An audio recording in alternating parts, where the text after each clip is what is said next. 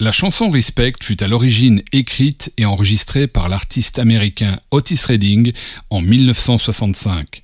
La version d'Aretha Franklin sortie en avril 1967 est radicalement différente musicalement, mais aussi au niveau du texte qui, dans la chanson d'Otis Redding, raconte l'histoire d'un homme qui s'attend à être respecté par sa femme, même s'il excuse ses écarts de conduite, car il subvient aux besoins du ménage. Quant à Aretha Franklin, elle incarne une femme de caractère qui exige le respect de son mari et ne lui fait jamais faux bon.